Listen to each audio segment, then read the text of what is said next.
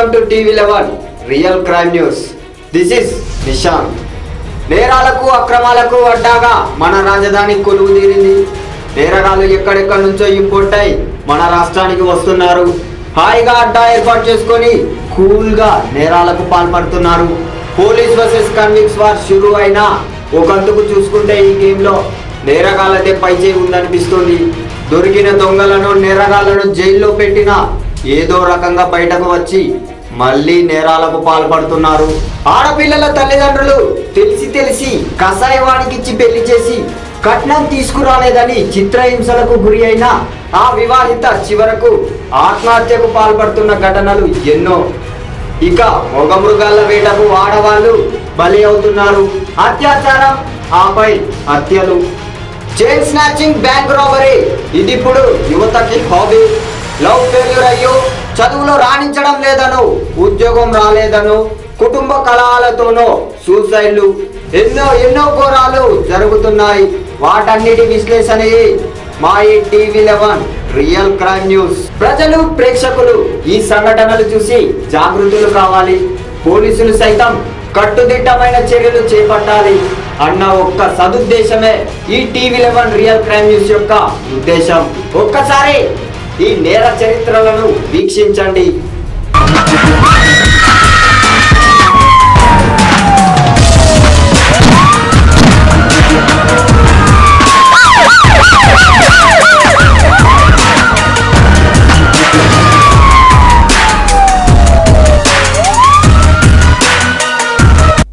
జిల్లాలోని గుంతకల్లులో దారుణం జరిగింది. రామకృష్ణ అనే యువకుడు పరిటాల శ్రీరాములు కళ్యాణ మండపం బాత్రూంలో స్పే కెమెరాలు అమర్చి మహిళా దృశ్యాలను చిత్రీకరించిన సంఘటన ఆలస్యంగా వెలుగులోకి వచ్చింది. సీసీ కెమెరా దృశ్యాలను చూపించి బాధిత మహిళలను రామకృష్ణ బ్లాక్ మెయిల్కు పాల్పడటంతో బాధితులు గుంతకల్ వన్ టౌన్ పోలీస్ స్టేషన్లో ఫిర్యాదు చేశారు. దీనిపై కేసు నమోదు చేసిన పోలీసులు నిందితులను రామకృష్ణను అదుపులోకి తీసుకుని విచారణ చేపట్టారు. గత కొంతకాలంగా ఇదే పనిలో ఉన్న రామకృష్ణ పలు కళ్యాణ మండపాల్లోనూ సీసీ కెమెరాలు అమర్చి బ్లాక్ మెయిల్కు పాల్పడినట్లు పోలీసులు నిర్ధారించారు.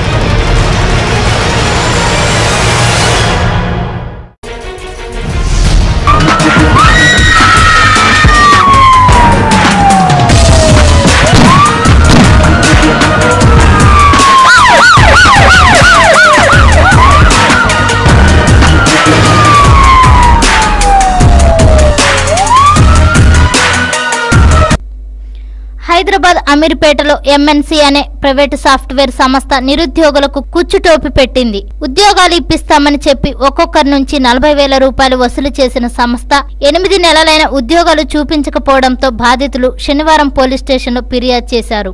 నిరుద్యోగుల నుంచి మొత్తం ఎనభై లక్షల రూపాయలు వసూలు చేసినట్లు తేలింది. బాధితుల ఫిర్యాదు మేరకు అమీర్పేట్ పోలీసులు కేసు నమోదు చేసుకుని దర్యాప్తు చేస్తున్నారు. బాండ్ ఇచ్చి అందరినీ ప్లేస్మెంట్ చేస్తామని చెప్పి ట్రైనింగ్ ఇచ్చి ప్లేస్మెంట్ చేస్తామని చెప్పారు సార్. అయితే చేసిన ట్రైనింగ్ ఇచ్చారు. ఇచ్చిన తర్వాత ఫిబ్రవరిలో వాళ్ళు వెళ్ళిపోయారు అనమాట వెళ్ళిపోయి ఆ, బెంగళూరులో వర్క్ ఉంది వర్క్ ఉందని చెప్పి ఇక్కడ ఇన్స్టిట్యూట్ అనేది క్లోజ్ చేశారు మాకు అసలు ట్రైనింగ్ ఇచ్చారు కానీ ప్లేస్మెంట్ ఒకటి కూడా చూపించలేదు. మూడు కంపెనీలు మూడు కంపెనీలు నాలుగు కంపెనీలు వచ్చాయి అవి కూడా ఫ్రాడ్ కంపెనీస్ సార్. అవి ఇక్కడికి వచ్చి కాల్ సెంటర్స్ వచ్చినాయి. మళ్ళీ అట్లాగే ఏంటంటే ఇక్కడికి వచ్చినాయి. ఫస్ట్ టూ రౌండ్స్ అన్నారు సార్. మేము సెలెక్ట్ అయిన తర్వాత మళ్ళీ కంపెనీకి వెళ్ళిన తర్వాత మళ్ళీ అదే రౌండ్ అన్నారు. మాకు అసలు ఇంటర్వ్యూ చూపించలేదు ఇక్కడ ఫిబ్రవరి తర్వాత ఇన్స్టిట్యూట్ అనేది క్లోజ్ చేసి ఇక్కడ సీనియర్ శ్రీనివాస్ రెడ్డి అనే ఒక అతన్ని పెట్టేసి మిగతా అందరూ మేనేజర్స్ అందరినీ తీసి మేనేజర్ ఒకటి బెంగళూరు వెళ్ళిపోయారు సార్. మిగతా అందరూ ఏం చేశారంటే అక్కడ ఇక్కడ నుంచి రిమూవ్ వాళ్ళందరినీ ఫ్యాకల్టీ నన్ను తీసి శాలరీస్ కూడా సరిగ్గా ఇవ్వకుండా వాళ్ళని కూడా తీసేసి వాళ్ళు వెళ్ళిపోయారు సార్. మళ్ళీ ఇప్పుడు ఒక two weeks back three weeks back వచ్చి మళ్ళీ ఏంటంటే వాళ్ళు ఒక ఇంకొక ఇన్స్టిట్యూట్ పేరు మీద రన్ చేసి ఒక సెవెంటీ టు ఎయిటీ మెంబర్స్ ఉన్నారు సార్ అక్కడ. వాళ్ళు వాళ్ళు కూడా ఇంకా టెన్ టెన్ డేస్ అవుతుంది వాళ్ళు కూడా. అట్లాగే థర్టీ థర్టీ థౌసండ్ వాళ్ళు ఇంకా పే చేస్తారు. వాళ్ళు ఏంటంటే వాళ్ళకి ఏం చెప్పారంటే ఇప్పుడు ఎయిటీ ఎయిటీ పర్సెంట్ మంది ఇంతకుముందు బ్యాచ్లు ప్లేస్ అయ్యారు. వాళ్ళు ఏంటంటే ప్లేస్ అయిపోయారు. మీకు ప్లేస్మెంట్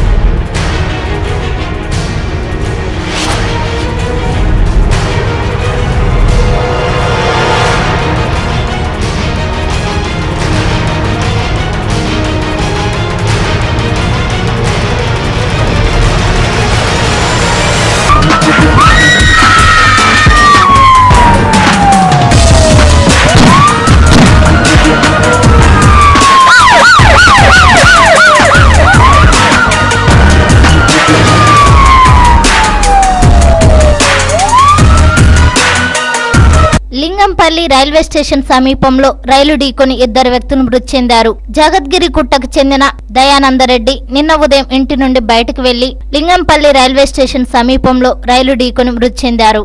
మరో గుర్తు తెలియని వ్యక్తి తలా మొండం వేరువేరుగా రైలు పట్టాలపై పడింది. కానీ ఎక్కడో హత్య చేసి రైలు పట్టాలపై పడేసినట్లు అనుమానిస్తున్నారు. రైల్వే అధికారుల నిఘా లోపం ఇక్కడ కొట్టొచ్చినట్లు కనబడుతుంది. లింగంపల్లి చందానగర్ స్టేషన్ల మధ్య తరచూ ప్రమాదాలు జరుగుతున్నా అధికారులకు చీమ కుట్టినట్లు లేదని స్థానికులు మండిపడుతున్నారు.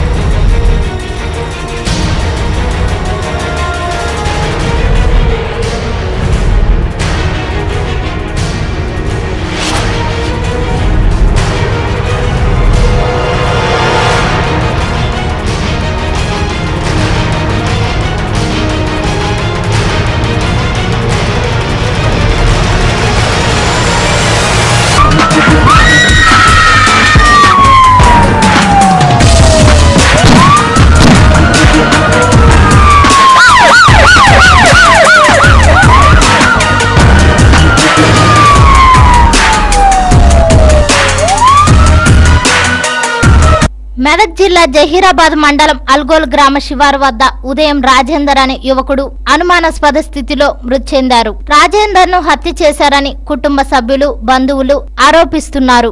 సమాచారం తెలుసుకున్న పోలీసులు సంఘటన స్థలానికి చేరుకొని మృతదేహాన్ని ప్రభుత్వ ఆసుపత్రిలోని మార్చురికి తరలించారు. హిట్ అండ్ రన్ కింద కేసు నమోదు చేసి దర్యాప్తు చేపట్టారు.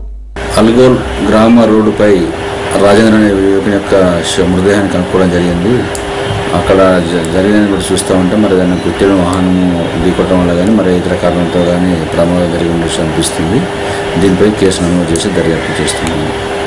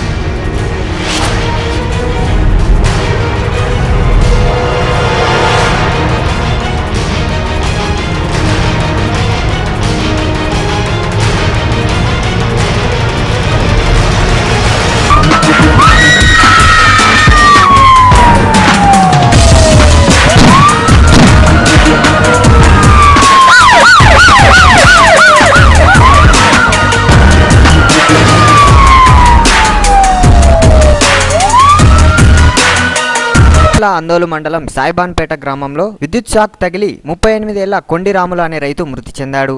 వర్షాకాలం మొదలవడంతో వ్యవసాయ పనుల్లో నిమగ్నమైన రైతన్నలకు విద్యుత్ మృత్యుశకటంగా మారింది. విద్యుత్ అధికారుల నిర్లక్ష్యమే రైతన్నల ప్రాణాలని బలిగొంటోందని ఈరోజు విద్యుత్ షాక్తో మృతి చెందినతని కుటుంబీకులు గ్రామస్తులు ఆరోపిస్తున్నారు. ప్రభుత్వం రైతన్నలను కంటికి రెప్పలా కాపాడుకుంటామని చెబుతుంటే అధికారులు మాత్రం ఆ మాటలను పెడచెవిన పెడుతున్నారంటూ రైతులు మండిపడుతున్నారు.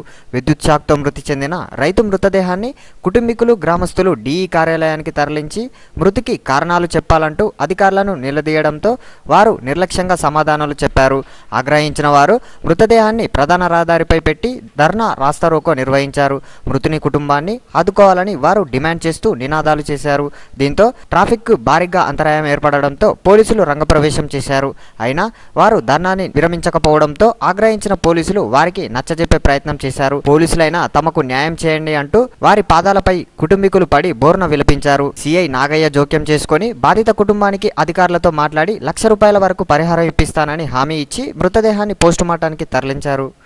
కొండిరాములు అనే కొండిరాములు తన సొంత పొలాన్ని దున్నడానికి వెళ్తుంటే వెళ్ళి వెళ్ళిన తర్వాత దున్నిండు. దున్నిన తర్వాత అక్కడ షార్ట్ సర్క్యూట్ రావడం వల్ల ఆయన మరణించిండు. దీనికి గవర్నమెంట్ తగిన చర్యలు తీసుకొని తన కుటుంబ కుటుంబానికి సాయం చేయాలని సపోర్ట్ వ్యాగ్ కలవడం వల్ల ఆయన ఈ విద్యుక్తి ఉద్యోగ విద్యుక్తి వాళ్ళ నిర్లక్ష్యం వల్ల ఇది జరిగింది. వాళ్ళు ఇలా జరగకుండా తగిన జాగ్రత్తలు తీసుకోవాలి. అలాగనే ఈ కుటుంబానికి తగిన అందించాలని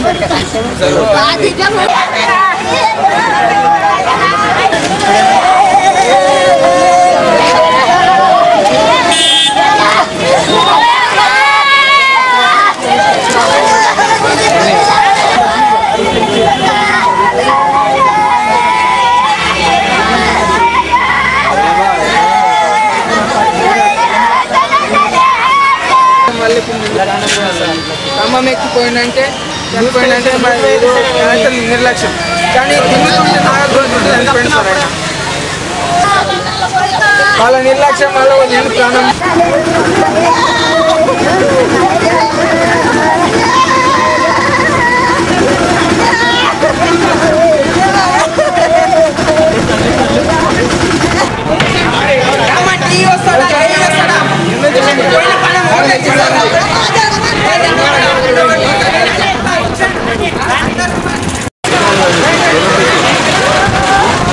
Jangan milih sendiri.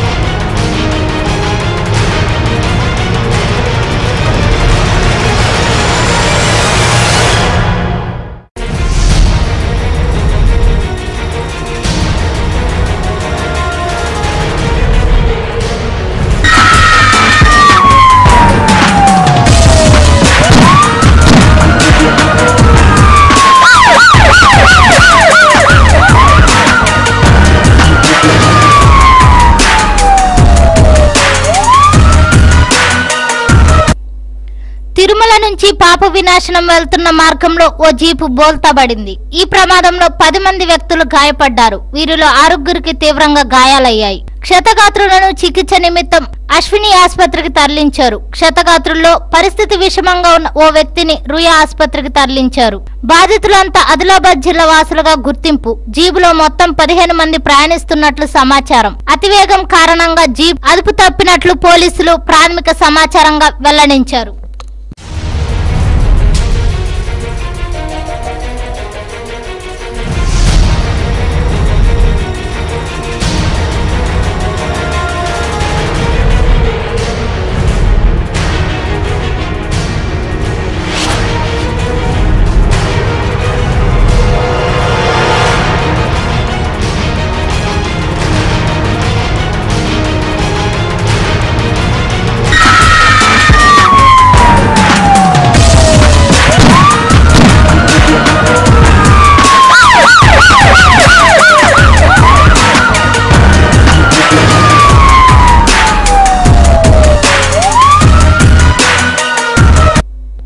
మెదక్ జిల్లా సంగారెడ్డిలోని ఓ మెడికల్ షాప్లో తీసుకున్న సెర్లాక్లో పురుగులు కనిపించాయి. రాజేష్ అనే వ్యక్తి మెడ్ప్లే స్టోర్లో ఐదు సెర్లాక్ డబ్బాలు కొనుగోలు చేయగా అందులో పురుగులున్నట్లు తెలిపాడు. పిల్లల కోసమని తీసుకెళ్ళే సెర్లాక్లో పురుగులుండడం చూసి ఆందోళన వ్యక్తం చేశాడు. ట్వంటీ ఫోర్త్ రోజు మెడ్ ప్లేస్ రోజు సెర్లాక్ తీసుకున్నాను నేను ఫైవ్ డబ్బాలు ఐదు డబ్బాలు అందులో తీరా ఓపెన్ చేసి చూస్తే మొత్తం పురుగులు వచ్చాయి మొత్తం. ఓపెన్ చేసి చూస్తే పురుగులు వచ్చాయి మొత్తం. తర్వాత అతనికి వెళ్ళి కాంప్లీట్ చేస్తే ఈవినింగ్ వరకు అతని దగ్గర పెట్టుకొని మళ్ళీ తర్వాత తీసుకున్నాము. అతనికి అడుగుతానేమో రిప్లేస్మెంట్గా వేరే ప్రోడక్ట్ ఏమైనా తీసుకోమన్నారు. దానివల్ల కాంప్లీట్ చేయగలుగుతాం మెడ్ ప్లేస్ అన్న? ఎప్పుడు కొన్నారు? ట్వంటీ ఫోర్త్ రోజు. మీరు అంటే ఎన్ని రోజులకు ఓపెన్ చేసారు అదే రోజు ఓపెన్ చేసి చాలా కనబడ్డాయి దాంట్లో. ఏం చేసారు వెంటనే? అయితే అతనికి వచ్చి కొంచెం చూపించాం అనమాట అప్పుడే? చూపిస్తే ఈవినింగ్ వరకు అతని దగ్గర ఉంచాం మేము. తర్వాత తీసుకున్నామని చెప్పేసి. ఏమన్నారా ఇట్లా చూసి వాళ్ళు? వీటిని చూసి వాళ్ళు తీసుకొని వాపస్ తీసుకొని అమౌంట్ ఇచ్చేస్తామన్నారు. అమౌంట్ అంటే రిప్లేస్మెంట్గా వేరే ప్రోడక్ట్ ఏమైనా తీసుకోమని చెప్పారు. తర్వాత నేను తీసుకోనని చెప్పిన. తీసుకోనని చెప్పి మళ్ళీ తర్వాత తర్వాత రోజు వెళ్ళి తెచ్చేసుకో డబ్బాలు తెచ్చి బాక్సెస్ తెచ్చి ఇక్కడ చేశారా? ఎవరికి చేయలేదు. మెట్లేస్ వాళ్ళకే చేసాం కంప్లీట్ చేసాం.